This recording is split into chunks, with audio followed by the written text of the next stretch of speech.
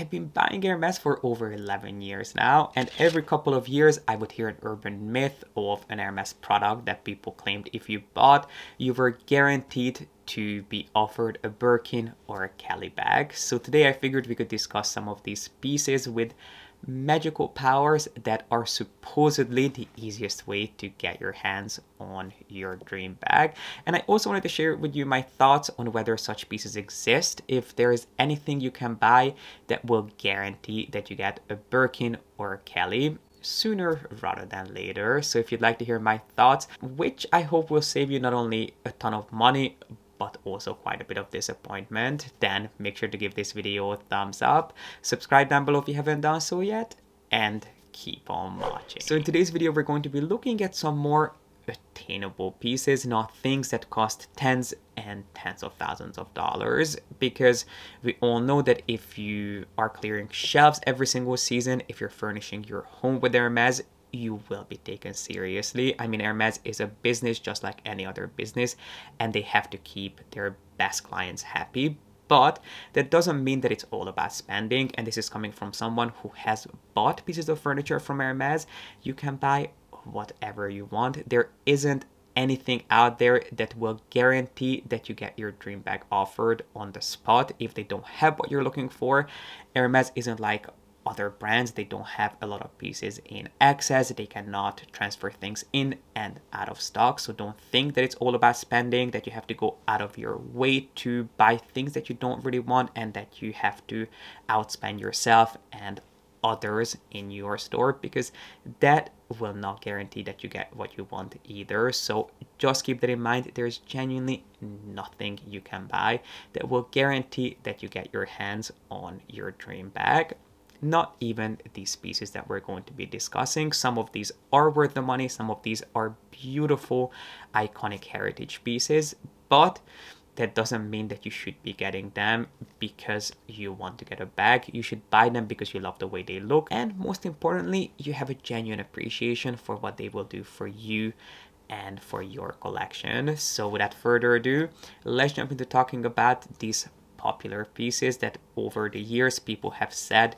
you need to have on your profile to be considered a serious Hermes client. And the first one is a true icon, a piece that I genuinely think is worth the money, but doesn't mean that it will get you back sooner rather than later.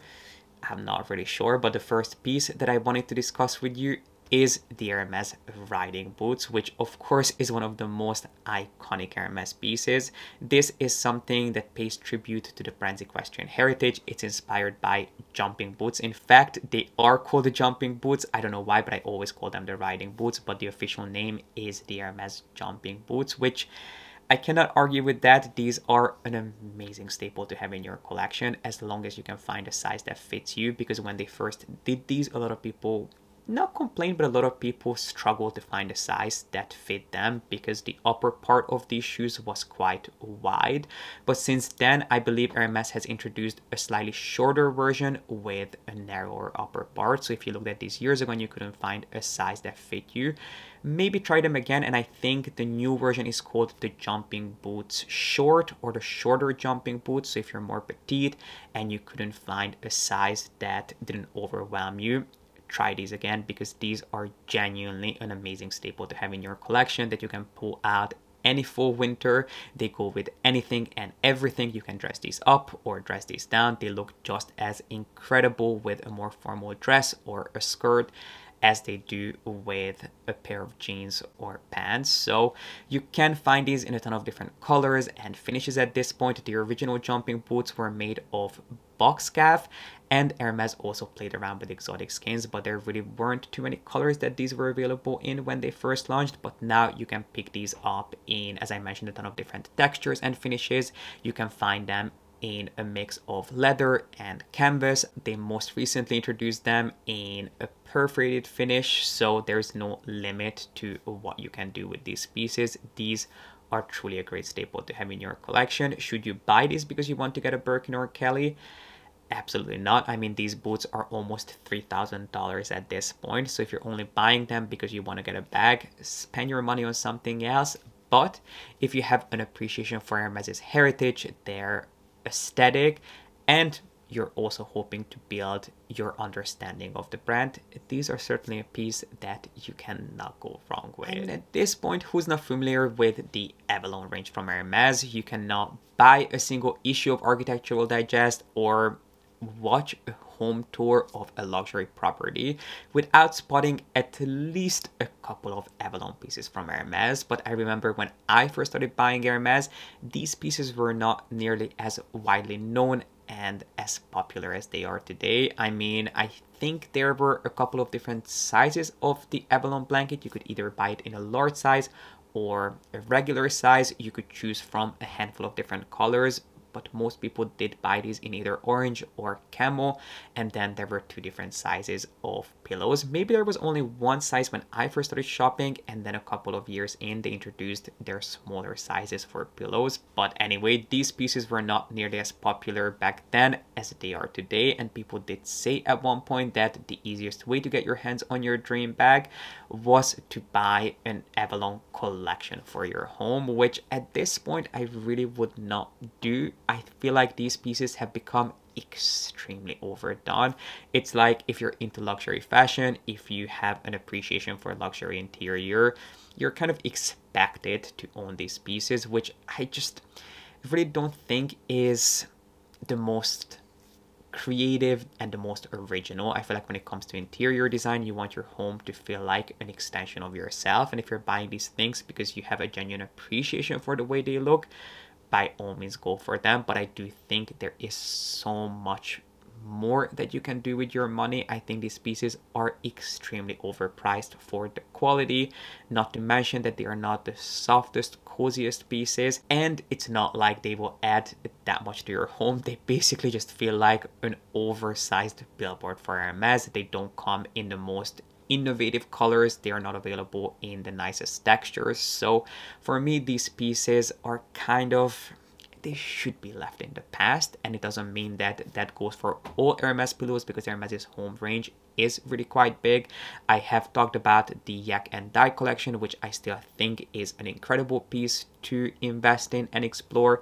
You can buy things from their Brides de Gala range. So Hermes has a lot to offer other than the Avalon range. But when it comes to this particular collection, I don't think it's something that you should be spending your hard-earned money. And speaking of buying things for your home, there are two more pieces that I remember people raving about years ago and saying that if you want to be taken seriously, these are things that you need to have in your home which don't get me wrong if you want to build a long-term relationship with Hermes if you would like to become a serious client you should really explore as much of the brand as you want to but you shouldn't buy home pieces because you feel like you need to.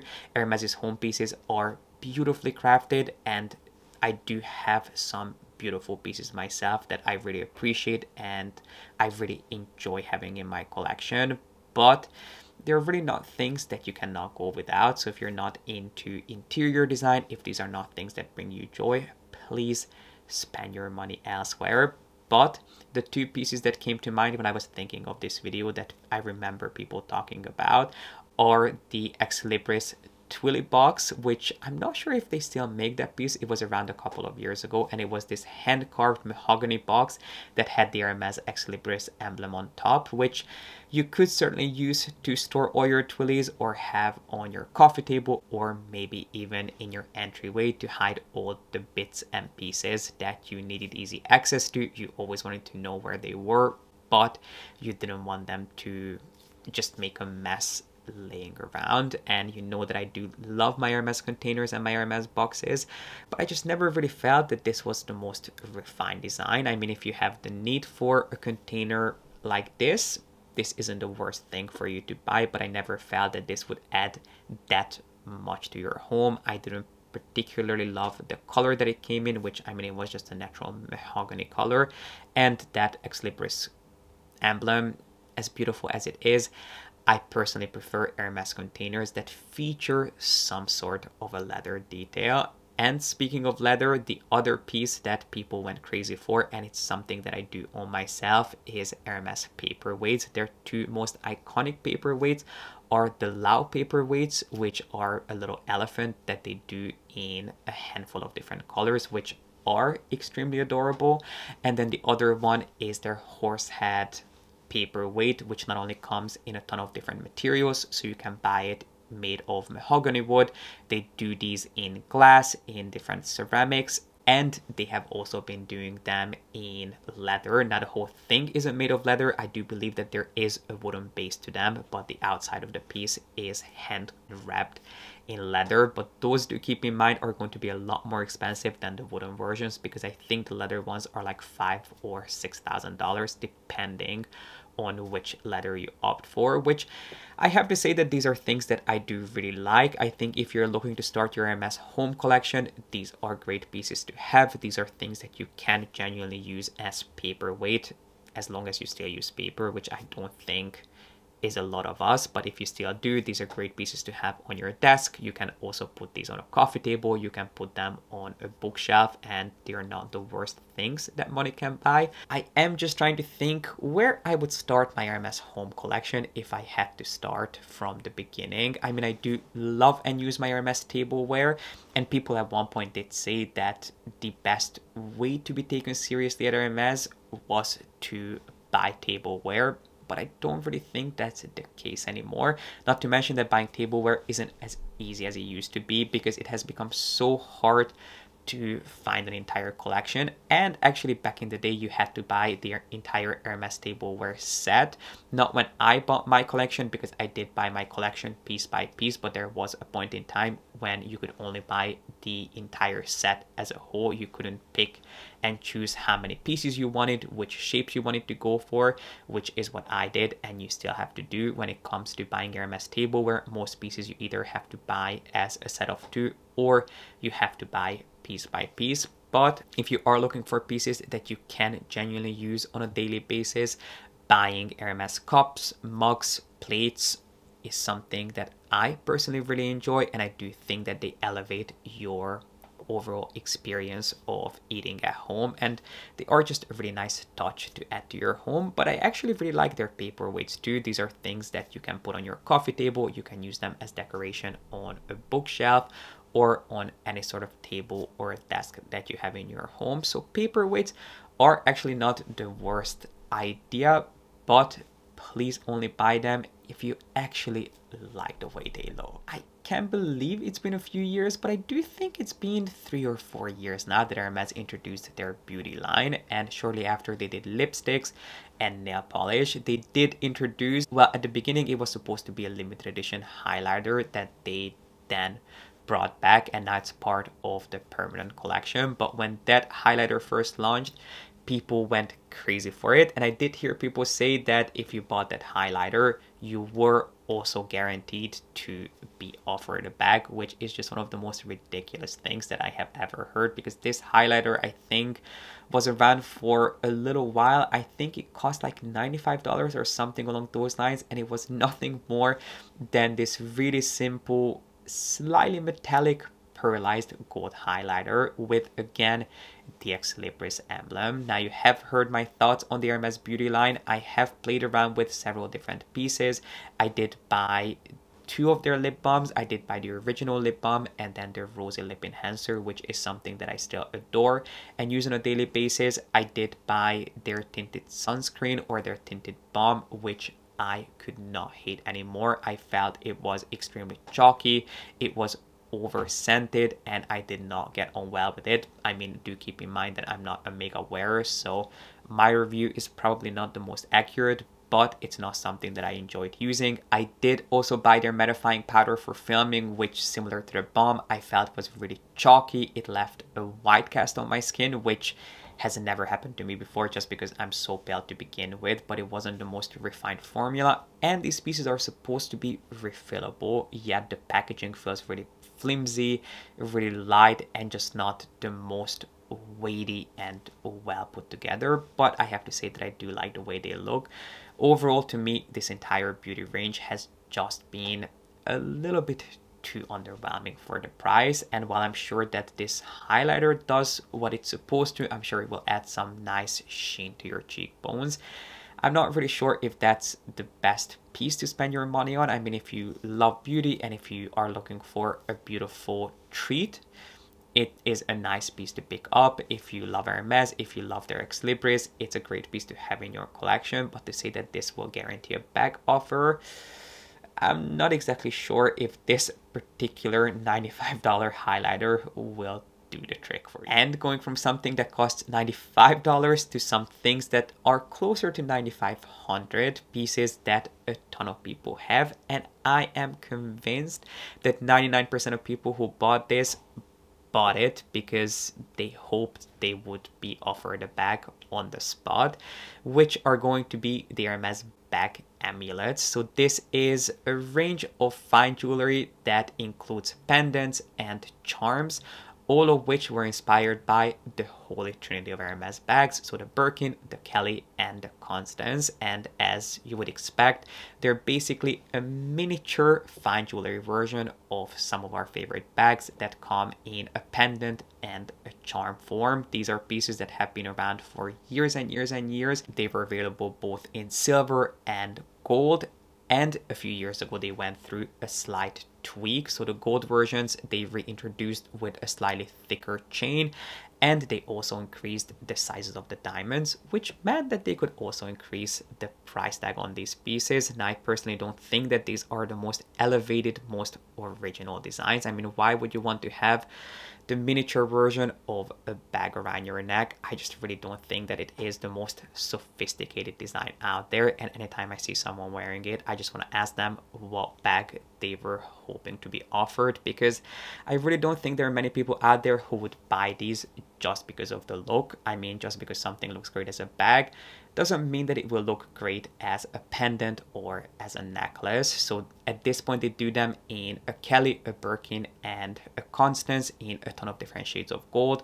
You can buy these with and without diamonds. Actually, you cannot buy these without diamonds anymore because even the version that is not pavé has a tiny little diamond charm. But basically, you can choose from a few different shades of gold and you can decide whether you want it in a pavé finish or if you want it in plain solid gold with just a single diamond charm. Now, you know my thoughts on Hermes Fine Jewelry. I think it is one of the most incredible range to explore from Hermes, I recently did a video sharing some of my most worn and most loved pieces, which is a video I will make sure to have linked down below for you. Mainly as a source of inspiration, just to show you that Hermes has a lot more to offer, designs that are exquisitely crafted, and that will actually elevate whatever you style them with, rather than pieces that look like something that you got from Claire's for a four-year-old, or just kind of like a cry for a bag and i'm not saying that every single person out there who owns these pieces bought them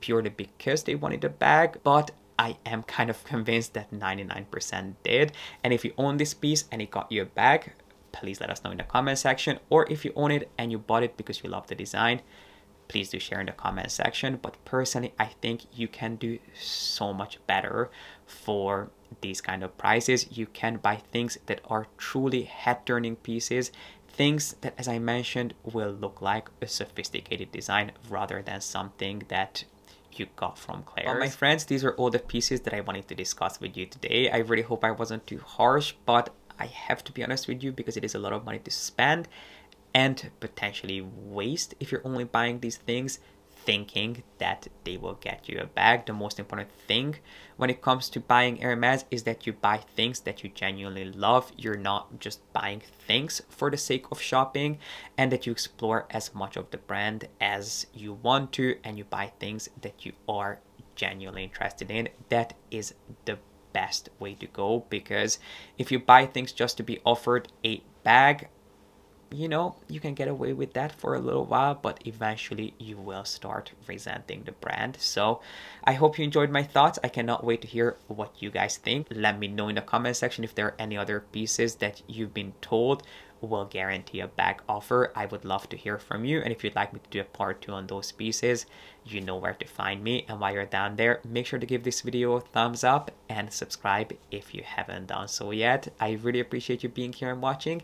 And I will see you back here with a new video. I think actually on Tuesday. I missed an upload on Thursday, so I will do my best to make up for it with a new video on Tuesday. So hopefully I'll see you back here then.